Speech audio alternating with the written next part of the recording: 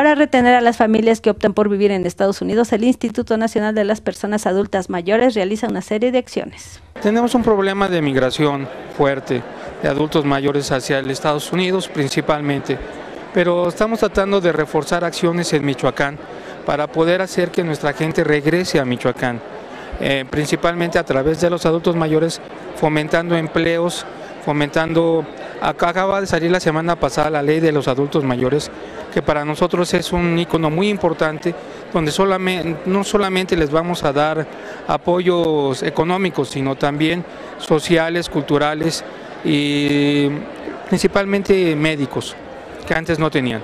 Además, a través de los programas 70 y más, prueba de vida y varias dependencias impulsan el autoempleo para los adultos mayores.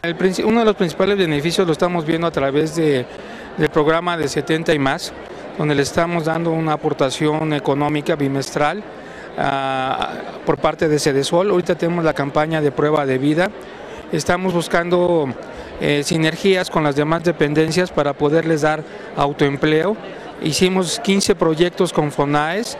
Estamos teniendo actualmente 14 eh, proyectos con la Secretaría del Trabajo para darles a los adultos mayores autoempleo.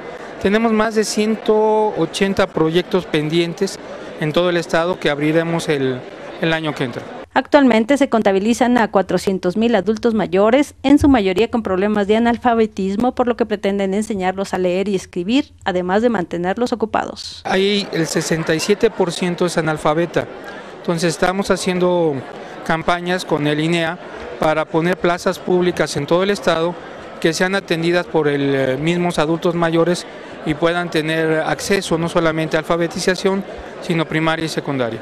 ¿Cómo abatir también la depresión? Con actividad.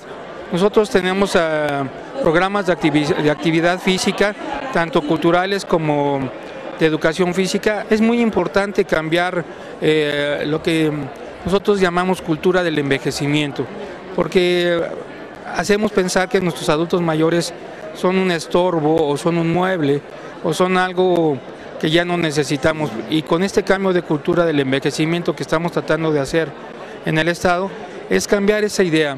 Informó para Noticiero Nuestra Visión Patricia Torres.